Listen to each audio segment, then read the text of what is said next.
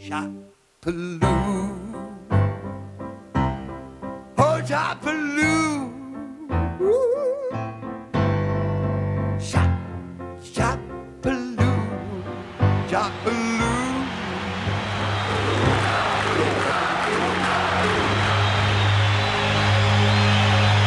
Quand j'ai vu la complexité déjà de faire un film comme celui-ci et de- d'avoir uniquement à rendre authentique ces foules, ils ont construit un logiciel qui a été adapté pour ce film, qui m'a permis, moi, d'avoir une liberté de mouvement euh, qui, sont hors du commun.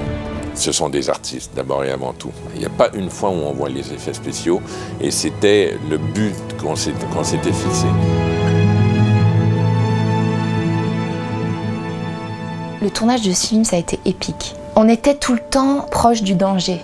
On était, tout le monde risquait un peu sa peau. C'est assez euh, éprouvant euh, parce que euh, physiquement, euh, les adducteurs et tout, ça, ça fatigue un peu. Le travail avec le cheval, c'est un travail d'une grande finesse, c'est- c'est un art. Mais c'était que du bonheur. Moi, j'ai j'ai pris un, un pied énorme à faire ce film.